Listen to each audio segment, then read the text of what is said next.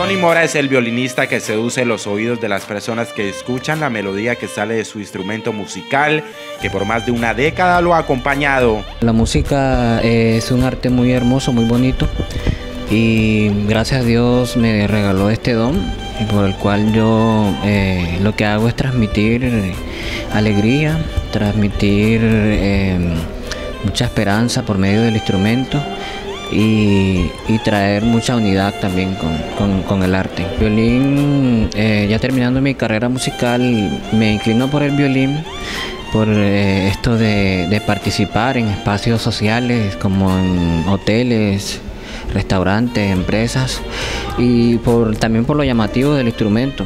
Como te decía ahorita que es un instrumento que simula un poco la voz y es propicio para hacer la melodía y para eh, tocar y tener una buena conexión con el público. Tony Mora se refirió frente al género musical que toca con su violín y lo que busca transmitir con él mismo. El género vallenato nace de mis raíces. Eh, yo nací, crecí escuchando música vallenata, yo soy de La Guajira y eh, me incliné, quise hacer un homenaje grabando tres álbumes que están en las redes sociales, ahorita voy a nombrarles, para hacer un homenaje a lo que es la música vallenata, eh, la música clásica vallenata.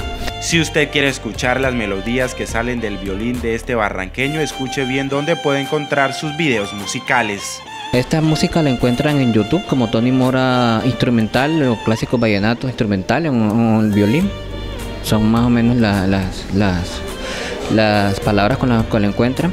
En redes sociales eh, me encuentran en Instagram como Tony Mora Music, eh, YouTube también y Facebook como Tony Mora y ahí encuentran todo el material, los videos que vengo compartiendo.